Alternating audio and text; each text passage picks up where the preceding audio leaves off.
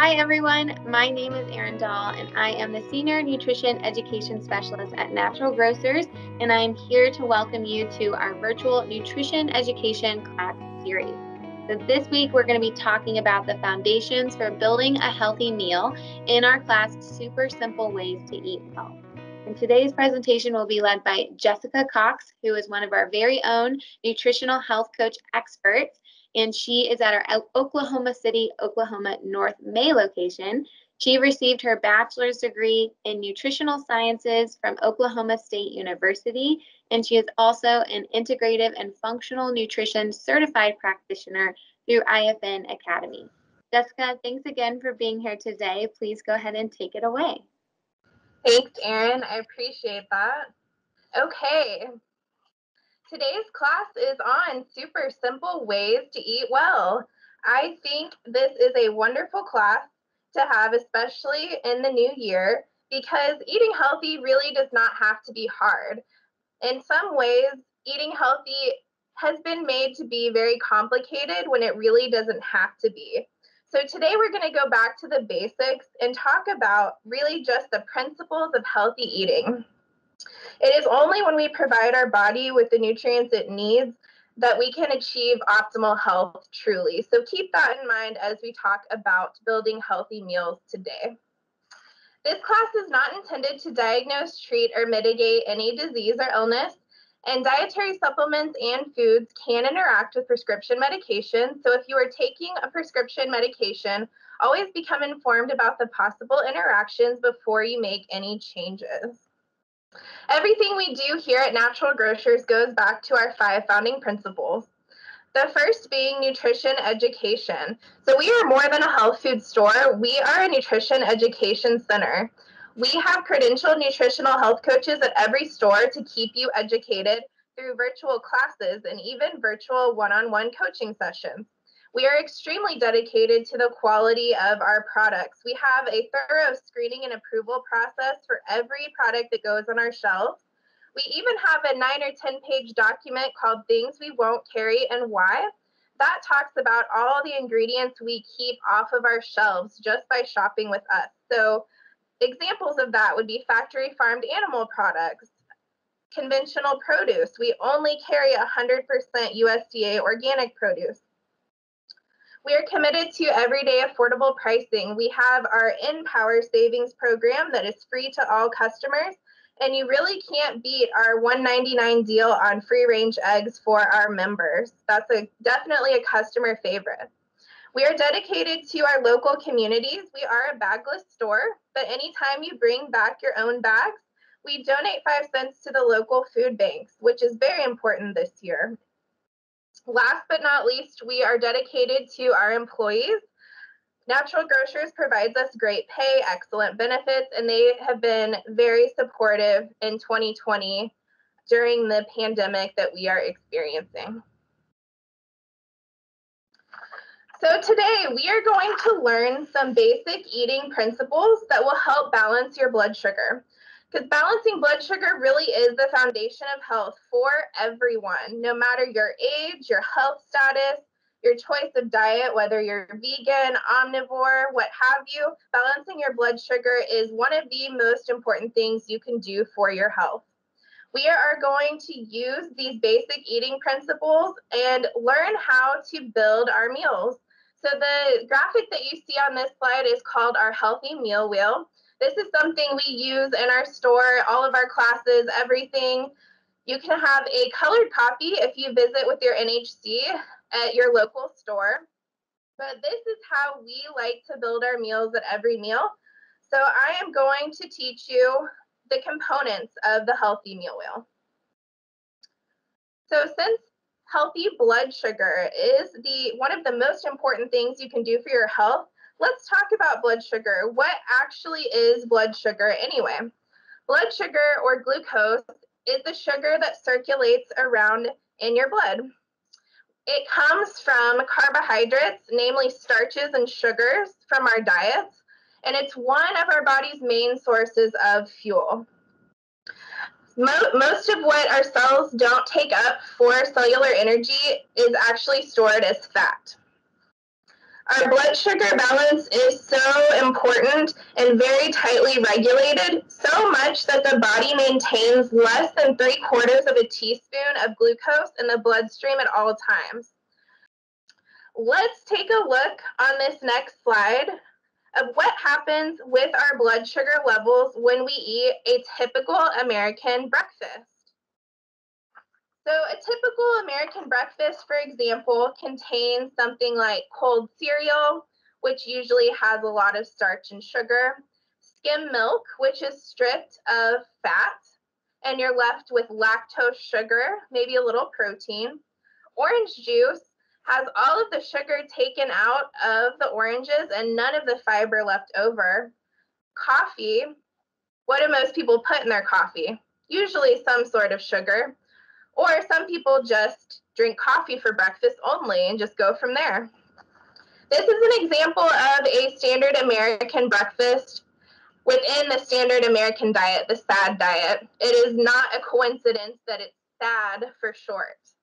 So this type of meal is a very unbalanced meal because it, it is very high in starches and sugars, and it's also very low in things like fiber, protein, healthy fats all of the nutrients that are needed to maintain healthy blood sugar are lacking in this meal.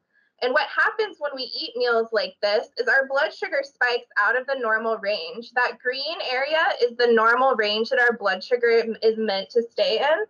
And when our blood sugar spikes, it's a very stressful thing on our body. We have a hormone called insulin that is released from our pancreas to bring that blood sugar back down get that glucose into our cells and out of the circulation. High blood sugar is not only stressful, but it can be harmful. So insulin goes in and does its job very quickly, so quickly that we have a crash in blood sugar. When we have a crash in blood sugar or low blood sugar, it is also stressful on the body. We can have an increase in our hormone cortisol, our stress hormone, the reason why cortisol can increase is because low blood sugar is so stressful that we must bring our blood sugar back up in order to continue being alive, essentially. So, blood sugar dysregulation is like an emergency system or an emergency situation in our body. So, cortisol is that emergency stress hormone.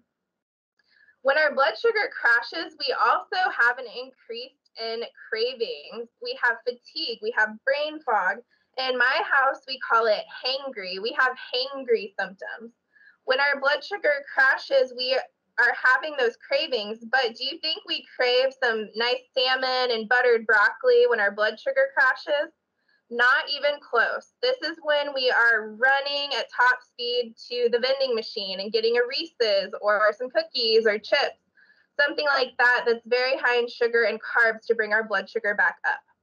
So whether cortisol brings our blood sugar back up or whether our high sugar, high carb snack brings it back up, we end up with another spike in blood sugar. And this constant spiking and crashing situation not only stresses our body very severely, uh, it provides us with biochemical stress, but it puts us in fat storage mode. When we have chronically elevated insulin, you can also think of insulin as our fat storage hormone. When insulin is too high too long, our body can't access our fat stores to use those as energy. So we are on this constant up and down roller coaster. We're hungry between meals, we're tired, we're putting on weight, we're stressed, all because we're eating unbalanced meals. It's really easy to get on this blood sugar roller coaster, but we can get off of it if we eat healthy, balanced meals. So, on the contrary, let's look at a balanced breakfast. This example contains two whole eggs, which is high, which are high in protein, healthy fat, lots of micronutrients, a cup of spinach and a half cup of berries. So fruits and vegetables, your ideal sources of carbs, very high in vitamins, minerals, and fiber. And then even one to two ounces of good quality cheese, some more fat and protein in there for you. And then herbal or green tea instead of coffee. So we don't have a huge caffeine dump into our system. This type of meal has quality protein, healthy fat, and fiber, and is very nutrient dense.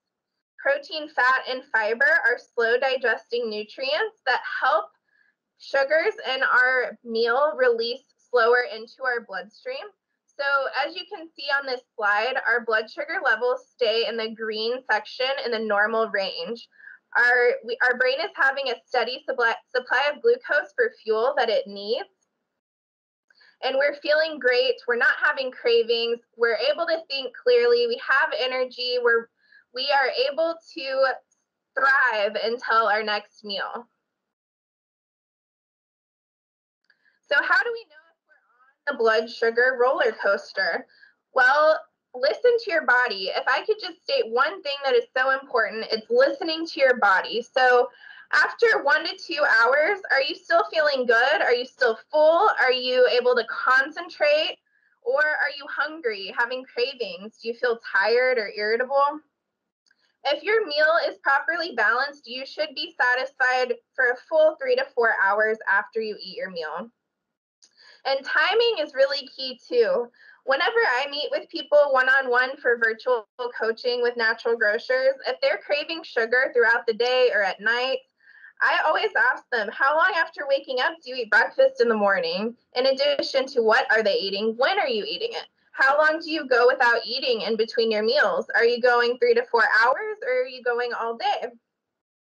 Timing is really key as well as building your meal to be as balanced as possible. So once you've identified if you are on the roller coaster, the next step is to get off of the roller coaster. So eating real food, high quality whole foods, the way nature intended, building those balanced and healthy meals, taking your individual nutritional needs into account, which meeting with a nutritional health coach at Natural Grocers is one of the most important things you can do to really individualize your meals and your supplement regimen. And then experiment. So more healthy fats or maybe less starch or maybe you need more protein at a meal.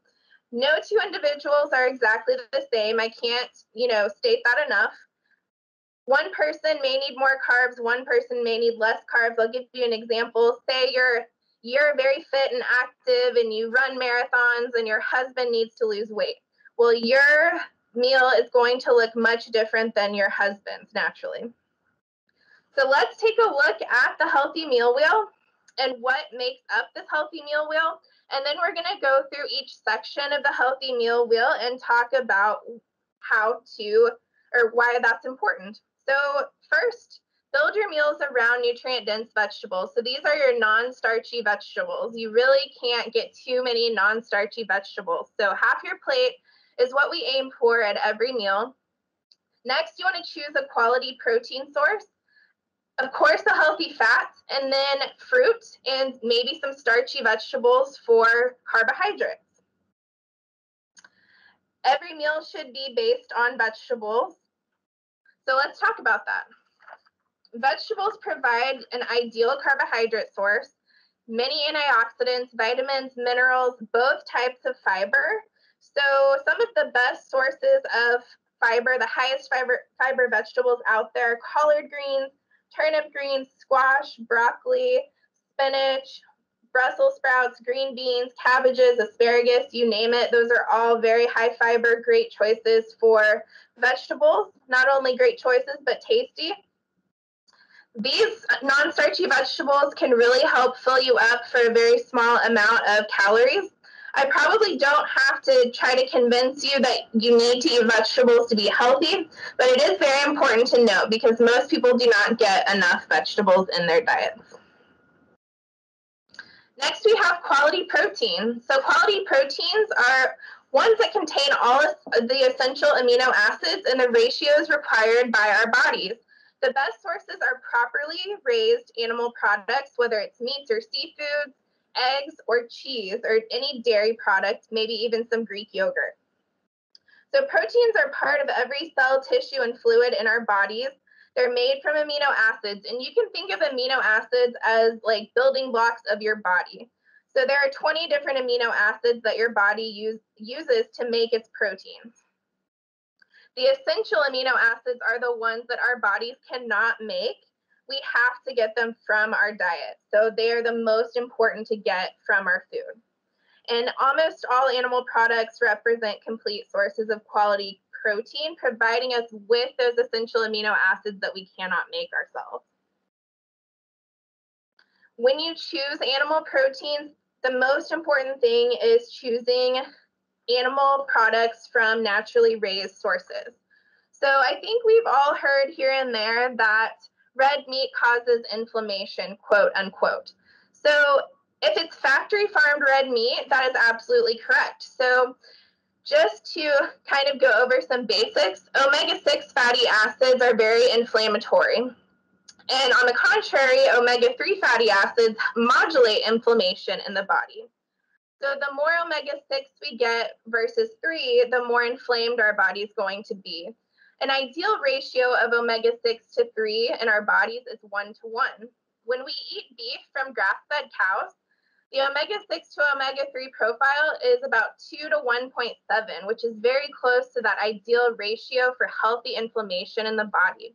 When we choose factory farmed or conventionally raised beef, those cows are fed a diet high in omega 6 rich grains and soy. And the ratio is more like 23 to almost 2. So, about almost 12 times more omega 6 than in grass fed cows.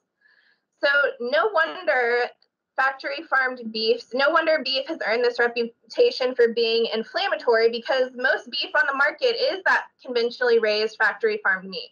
So, if we choose high quality beef for example, like Thousand Hills beef, the only one that we sell, it's only $5.89 a pound for members, which is a great deal. And it's 100% grass fed, pasture raised, regenerative agriculture, great for the planet, better for you, better for your body. Also, more nutrient dense. So, zinc, CoQ10, L carnitine, even vitamin A and vitamin E are all higher in grass fed beef than conventional beef. One last nutrient that grass-fed beef is higher in is called CLA. This is a fatty acid that is known to support a healthy body composition, even healthy muscle mass and immune system function. It is much higher in grass-fed beef than conventional. So you need a protein at every single meal. You want to start with a palm-sized portion is a great place to start. And including protein in your snacks is important as well, especially when you get that afternoon slump. Protein helps balance your blood sugar, it helps keep you full, and again, it provides you with those building blocks called amino acids. When customers, also as a side note, whenever I see customers one on one in my coaching sessions, when they have sugar cravings, typically they aren't eating enough protein or they're not eating enough protein earlier in the day. I see that pretty often. So definitely go to our website and request a nutrition coaching session with your local NHC or nutritional health coach. We call them NHCs for short. And definitely work with them and see how much protein in a day is appropriate for you. Lastly, protein for vegetarians. So pro- vegetarians usually don't have trouble getting enough protein. It's just that we have to be careful with our sources. So one example is quinoa. Quinoa is a great healthy food, but it is mostly starch. So it is a complete protein, but it's just that it's packaged with a starch. So you have to be careful about blood sugar balance and not overdoing it. Next is soy. So about 94% of all soy grown in the US is genetically modified to be Roundup ready. So you really have to make sure to not overdo soy and really choose non-GMO or certified organic soy. My personal favorite complete proteins for vegetarians are hemp seeds and nutritional yeast. Hemp seeds are very nutrient dense. They are high in healthy fats and fiber, and then they are a complete protein. You can add them to your food. You can add them to a shake. They're really versatile. And then nutritional yeast is great, especially for people that are dairy free because it has a nice cheesy flavor. I really like the brand Parma, P A R M A, that we sell in our stores. The plain one is great. It even has some seeds blended in with it, and they have one that is a garlicky flavor. Uh, nutritional yeast, and you can just put it all over your food. It's really tasty. So now that we have half of our plate filled with vegetables and we have a serving of good quality protein, let's talk about fat because this is where people tend to get the most confused. So really don't fear fats. Fats are absolutely necessary on a cellular level. The fats we consume go on to make our cell membranes. All of our trillions of cells in our body have a cell membrane and they are made of fat. Fats also supply us with energy. They are the building blocks of hormones. They help us stay full for longer. They're very satisfying. They balance our blood sugar. And they also carry fat soluble. So vitamins A, D, E, and K are all fat soluble nutrients. So we need fat to absorb them. We do need all three types of fats as well. We need the monounsaturated fats like our avocados, our nuts, olive oil. We need polyunsaturated fats like we get from seeds or wild caught fish. We also need saturated fats like we get from coconut oil, grass fed butter or ghee, or even unrefined organic red palm oil, which is a great alternative to coconut oil if you don't like that coconut taste. Despite what we've been told since like 1977 ish, saturated fats do have many benefits. Saturated fats raise HDL or quote unquote good cholesterol. And saturated fatty acids, for example, stearic acid and palmitic acid, are preferred fuel for the heart.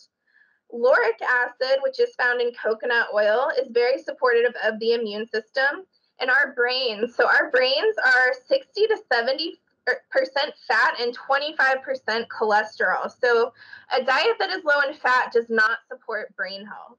So you can see on this slide lots of examples of good healthy fats to include at every single meal. The next section of the healthy meal wheel is the optional additional carbohydrate section. Keep in mind this is optional. So if you exercise frequently, you're very athletic, you can include this. You really want to focus on starchy vegetables like beets or sweet potatoes, white potatoes, butternut squash, and other winter squashes because they are the most nutrient dense sources of these starches. Grains can really spike blood sugar and they're not nearly as nutrient dense. So you want to focus on those starchy vegetables. And if you are going to include grains, make sure you include them in their whole form. So like brown rice or quinoa, even steel cut oats rather than things like breads and pastas. So, really choosing the whole forms and choosing the nutrient dense starches over the less nutrient dense ones like grains. You can also include things like beans and lentils as well, but again, they aren't quite as nutrient dense as your starchy vegetables. Last but not least, my, maybe my favorite part of a healthy meal nature's perfect tree in the form of fruit. So, fruit is really a great food to eat, especially if you have blood, or excuse me, if you have sugar cravings, because it can kind of satisfy that sweet tooth, but it's also very nutrient dense. So, it's an ideal source of carbohydrates as well. It's very high in antioxidants, vitamins, and minerals, and very rich in both types of fiber, your soluble and insoluble fiber. One of my favorite ways to get more fiber that I recommend to customers one cup of raspberries a day, that's eight grams of fiber right there. Pears, cranberries, strawberries, apples, blueberries, and oranges are all very fiber rich fruits as well. Now that we have covered all of the parts of our healthy meal wheel, let's look at how to put it all together and to create a healthy and delicious meal. So we're going to start with a protein-rich breakfast, and we're going to experiment to find our best meals and snacks for blood sugar balance. We're going to listen to our body. We're, we need to be full for three to four hours after we've eaten a meal. So if we're getting hungry within one to two hours, that's a good sign that we need to adjust utilizing all of our resources and getting additional support from our nutritional health coaches.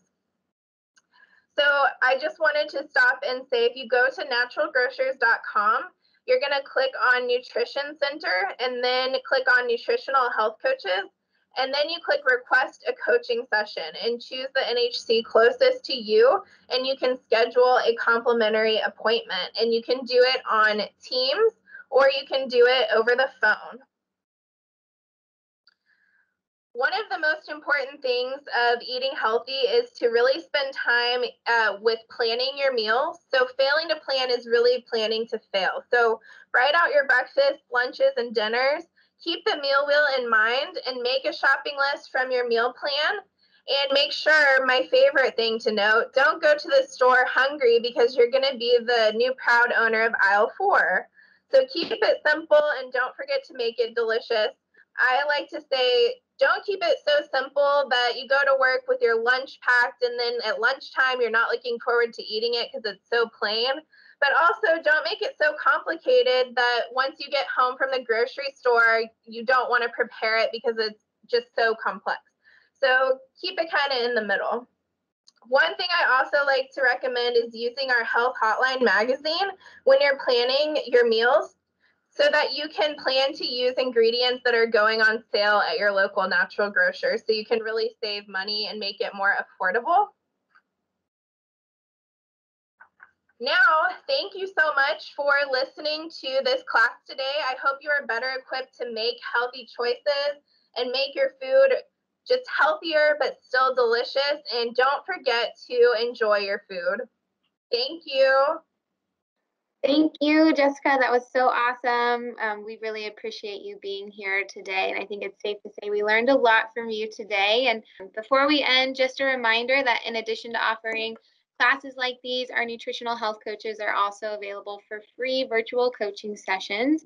So these hour long sessions are a great resource for those of you who are looking for additional support and also tailored nutrition recommendations. So for more information on natural grocers or to request a virtual coaching session, you can just visit us um, at naturalgrocers.com. So thank you again for joining us today, and we hope to see you again soon for another virtual nutrition education class.